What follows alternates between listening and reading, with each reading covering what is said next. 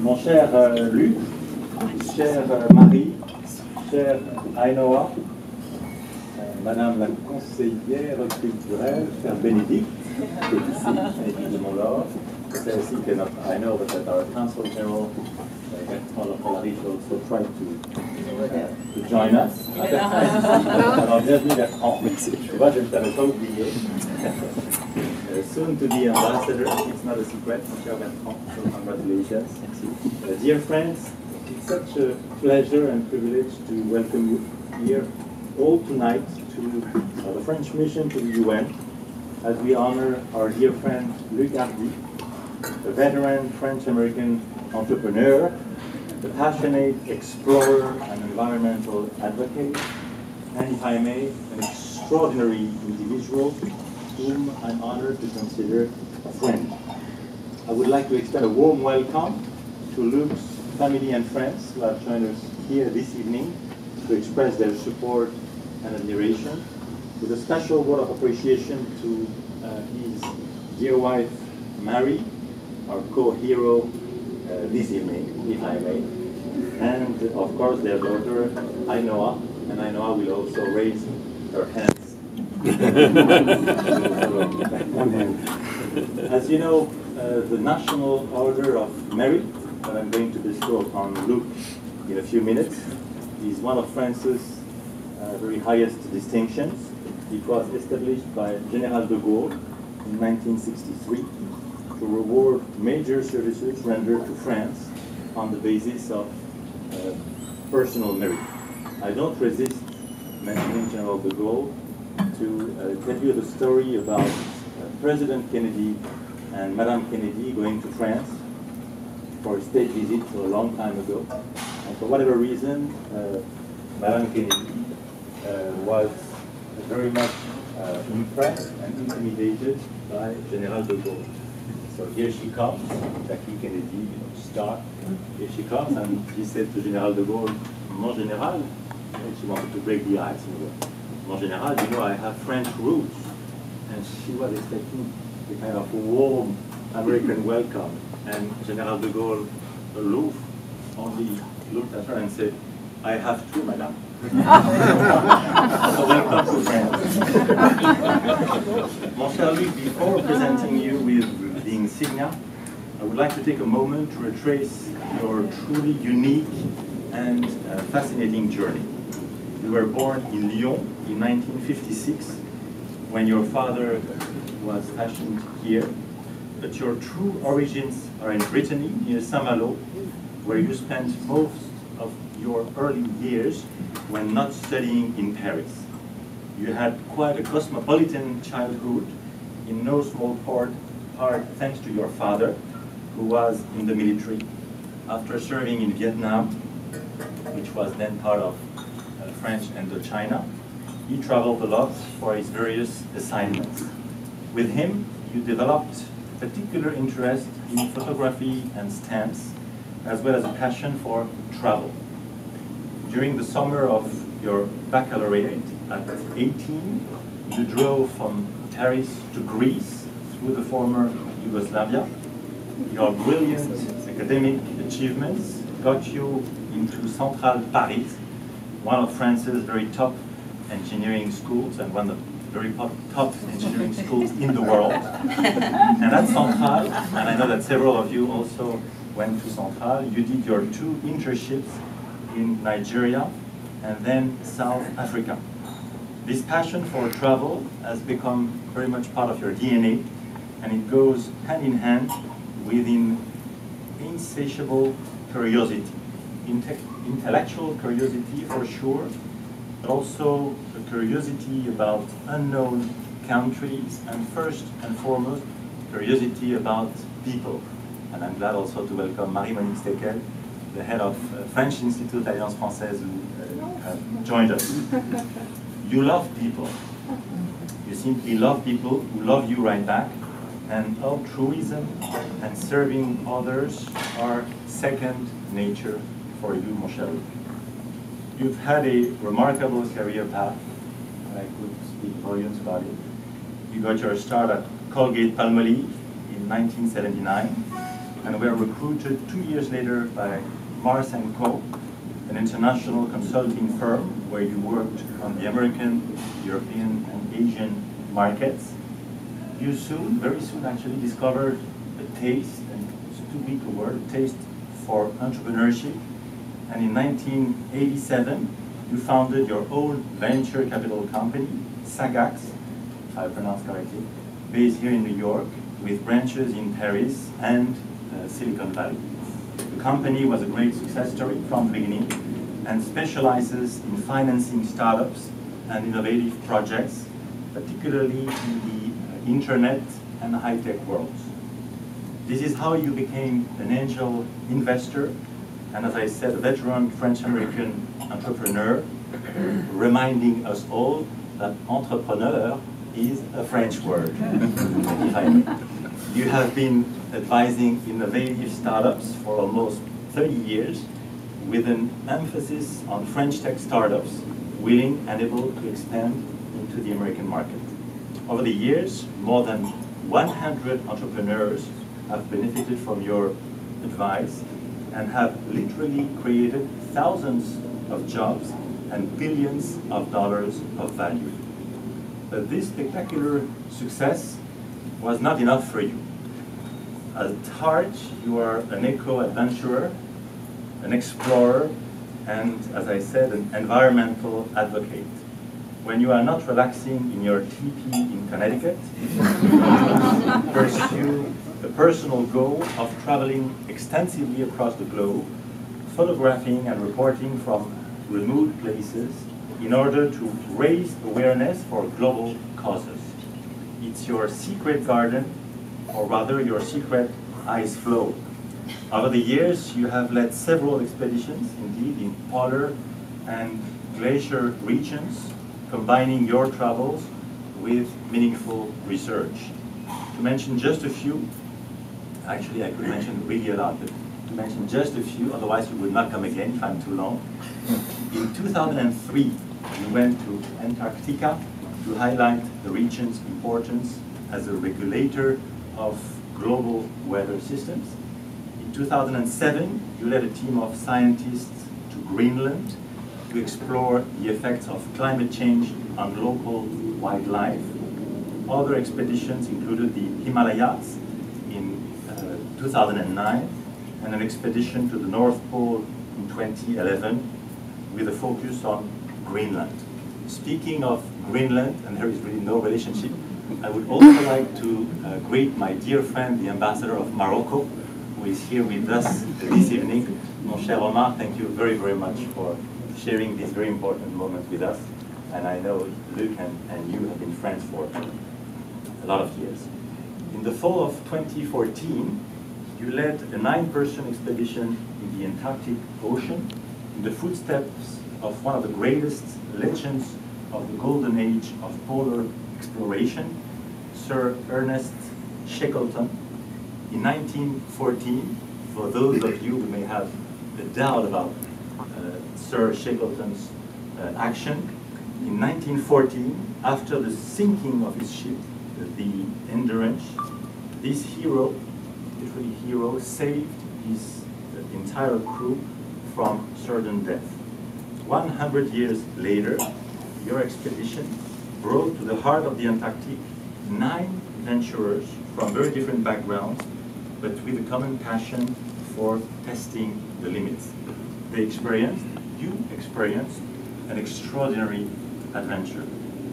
Based on this expedition, you co-authored and produced a wonderful film, Pursuit of Endurance, which premiered at the Focus on French Cinema Festival in Greenwich in April 2015 and was then screened at several prestigious film festivals in France and in the US. And I had the privilege of attending each screening at the UN here in New York on the eve of the opening of the General Assembly in September 2015. The screening was both a uh, tremendous success and a very powerful and uh, moving experience. Many of, many of you were here and I'm glad to see uh, Catherine and uh, Etienne Lamerez and many others representing the Greenwich Festival that I so much admire. Most of the expeditions you've led have included children who serve as youth ambassadors and witnesses to the dramatic climate changes occurring in these regions. Indeed, your commitment and your efforts are focused on bearing witness to the uh, devastating impacts of global warming. This is probably the fight of your life, amassing scientific proof through on-the-ground observation and thereby convincing policymakers to take the drastic measures that need to be taken and that are truly uh, imperative. The success of the Paris Climate Conference this past December, which I had the privilege uh, to uh, attend, is an important step in that direction, but we all know it's not enough, it's only a step. We must continue our joint efforts to create a low carbon economy. This is, I believe, one of the challenges of our generation, and this is literally a vital challenge. In this spirit, your travels have been the subject of several fascinating books, including Antarctic Adventure in 2004, Greenland Impressions in 2007, and Arctic Transitions in 2008. You're also an avid and expert photographer, as I said, who has been published in many prestigious publications and exhibitions. And a selection of your Arctic work is, under your watch, currently available uh, online and in galleries in France and New York via Yellow Corner, if I'm not mistaken. To promote, so this is the end of my introduction, to promote awareness of the threats facing the Arctic and polar regions, in 2003, you founded your own organization, Pax Arctica Initiative, based here in New York, and whose mission is to alert the public to the profound climatic transformations that are, that are affecting, again, the most sensitive regions of the globe. You're also the Secretary General, Secretary General of Green Cross International France, the environmental NGO founded by the former uh, Russian leader Mikhail Gorbachev and headed by famous Jean-Michel Cousteau. And you're a member of the New York Explorers Club, very famous club, and the American Polar Society. Mon cher Luc, I hope, I truly hope, that someday someone will write your biography. and actually, I volunteer. and there are witnesses. Indeed, your life is simply extraordinary. Your talents and achievements multifaceted, and your commitment to serving others, whether helping high-tech entrepreneurs or working to save our planet, is a deep source of admiration and inspiration for many, many, and certainly for me. So on behalf of France's President, and in recognition of your many accomplishments and your commitment to French-American friendship, it is now, is now my privilege to bestow upon you the insignia of Chevalier in the Legion, in the National Order of Merit. And I have to say just a few words in French before you applaud. before you... Luc Hardy, au nom du président de la République et en vertu des pouvoirs qui me sont conférés, je vous fais chevalier dans l'ordre national du mérite.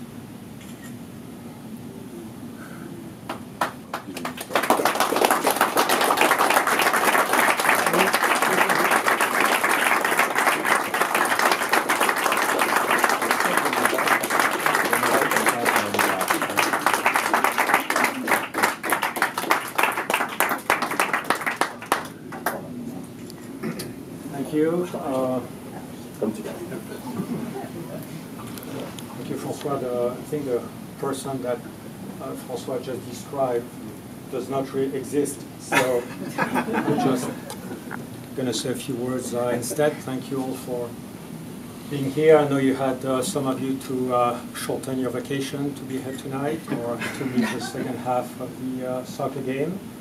So thank, thank you all. It's just an excuse for uh, gathering a few friends and uh, wishing one another a, uh, a great summer.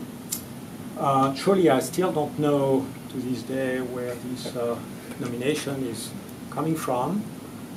I assume, uh, you know, some polar bears or whales or penguins somewhere, and maybe some uh, friendly, uh, friendly, maybe some uh, friendly uh, diplomats as well. So thank you, uh, François, uh, very much. Uh, thank you also, uh, Bertrand, our consul général, uh, soon to be ambassador to Vietnam, but it's a top secret, so don't, say that. Uh, you've been very, very helpful over the years to um, to promote the uh, French tech uh, here in the US and especially in New York, a cause which is uh, very uh, dear uh, to me and, and a lot of us here in this room. And also thank you for being part of the French effort to, to make sure that France is a leader in uh, the, the fight against uh, climate change, uh, both here in, in the US and all over the world. Uh, so this really came uh, as, a, as a surprise. Uh, truly, I, I should really share this honor with the 100 plus entrepreneurs I've helped over the years, mostly French entrepreneurs, you know, some, of- some of whom have, failed but have repeatedly tried and, and uh, e- e- eventually uh, succeeded. Um, also, the uh, 25 uh, plus interns uh, have literally tortured over the years. The latest of, of whom is uh, who is in the back here in hiding. Thank you, Elisère. Just joined me in, in Greenwich. And also the um, many uh, great uh, scientists and uh, NGO workers and uh, volunteers um, whom I've had the privilege to to meet in uh, many different countries uh, over the years. Um, with a actually a special thank also to Michel Rocard, who passed away last week, as you know, and who was the uh, French ambassador to uh, polar regions, uh, whom I had the privilege to meet a few times. Uh, uh, one of them was uh, near the North Pole, of all uh, of all places, and we had a few chats. Uh, uh, a few times, uh, meaning that he did all the talking, uh, as, as, as you know. And um, um, the um, last but not least, I really want to thank my um, uh, family, uh, Mary here, Ainoa, and uh, recent Georgetown graduate, promised a great future, I hope.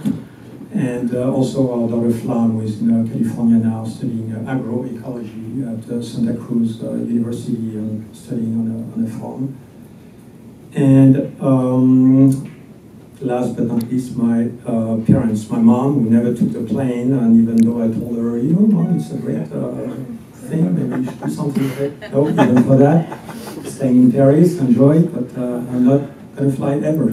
So, and uh, my dad, as uh, François mentioned, has been a great inspiration in uh, photography, travel, and, uh, and just uh, making sure we, the three boys we were, would stay curious and, and open, open.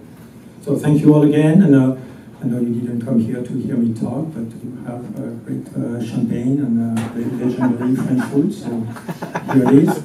Enjoy and uh, have a great summer, and uh, hope uh, part of the summer will be with uh, uh, some of you, wherever, wherever you, you are. Thank you again.